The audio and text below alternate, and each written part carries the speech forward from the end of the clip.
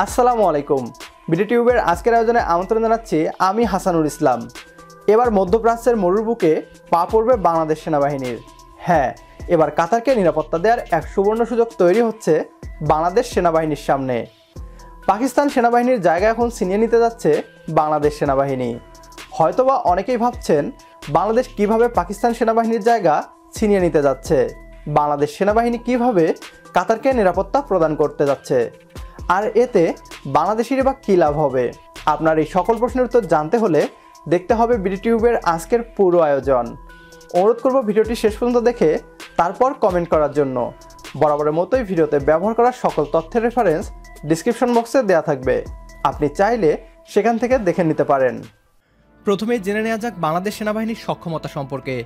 জাতিসংঘের শান্তিরক্ষা মিশনে বাংলাদেশ সেনাবাহিনীর অভূতপূর্ব সাফল্য পুরো পৃথিবীতে প্রশংসা কুড়িয়েছে। জীবনের ঝুঁকি নিয়ে আত্মমানবতার সেবা দিয়ে বিশ্বের চল্লিশটি দেশে শান্তি প্রতিষ্ঠা করেছে বাংলাদেশ সেনাবাহিনী। চল্লিশটি দেশে জাতিসংঘের চুয়ান্নটি শান্তিরক্ষা মিশন সম্পন্ন হয়েছে। জাতিসংঘ শান্তিরক্ষা কার্যক্রমে বাংলাদেশ বর্তমানে সর্বোচ্চ শান্তিরক্ষী প্রেরণকারী দেশ। এ পর্যন্ত শান্তিরক্ষা মিশনে কর্তব্যরত অবস্থায় বাংলাদেশের একশো উনষাট জন শান্তিরক্ষী মৃত্যুবরণ করেছেন। তারপরেও জাতিসংঘের শান্তিরক্ষা মিশনে গুরুত্বপূর্ণ ভূমিকা পালন করছে বাংলাদেশের শান্তিরক্ষীরা। তারা সংশ্লিষ্ট দেশগুলোর জনগণের সঙ্গে মিশে গেছেন। বাংলাদেশি শান্তিরক্ষীদের ভূমিকায় প্রশংসিত হয়ে সিয়েরা লিওন তাদের দেশের প্রধান ভাষা বাংলা করতে চেয়েছিল। এখন হয়তো অনেকেই ভাবছেন থামনেল ও টাইটেলে দেয়া কাতারে নিরাপত্তা দিতে যাচ্ছে বাংলাদেশ সেনাবাহিনী। অথচ ভিডিওতে আলোচনা করছি জাতিসংঘ শান্তিরক্ষা মিশনে বাংলাদেশ সেনাবাহিনীর কৃতিত্ব নিয়ে। এর সাথে কাতারে নিরাপত্তা দেওয়ার সম্পর্ক কোথায়? সম্পর্ক আছে। কাতারও তাদের দেশের নিরাপত্তার জন্য অন্য দেশের সামরিক বাহিনী নিয়োগ প্রদান করে থাকে। বিষয়টি অনেকটা সৌদি আরবের মতো। সৌদি আরবকে যেমন নিরাপত্তা প্রদান করে আমেরিকা, ঠিক একইভাবে মধ্যপ্রাচ্যের ছোট্ট ধনী দেশ, কাতারও তাদের দেশের নিরাপত্তার জন্য বিভিন্ন দেশের সামরিক বাহিনীকে নিয়োগ করে। এতদিন কাতারের নিরাপত্তা নিশ্চিত করে আসছিল পাকিস্তান ও তুরস্ক। তবে পাকিস্তানের অভ্যন্তরীণ নিরাপত্তা পরিস্থিতি খারাপ হওয়ার ফলে এবং পাকিস্তানের সাথে রাজনৈতিক ও কূটনৈতিক সম্পর্কের ভাঙ্গনের ফলে পাকিস্তান সেনাবাহিনীকে এখন আর কাতার সরকার চাচ্ছে না। অন্যদিকে করোনা মহামারী ও ইউক্রেন রাশিয়ার যুদ্ধের ফলে বিশ্বব্যাপী দেখা দিয়েছে এনার্জি সংকট।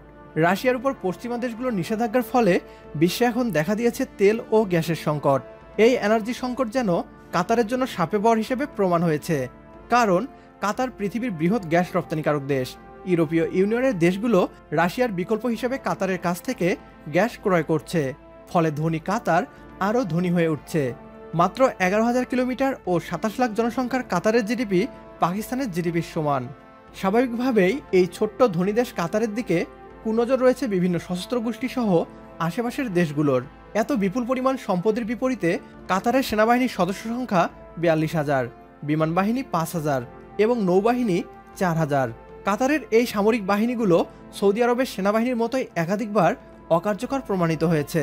এর ফলে কাতার সরকার প্রতি বছর কাতার সেনাবাহিনীর প্রশিক্ষণ ও নিরাপত্তার জন্য মোটা অঙ্কের অর্থ ব্যয় করে।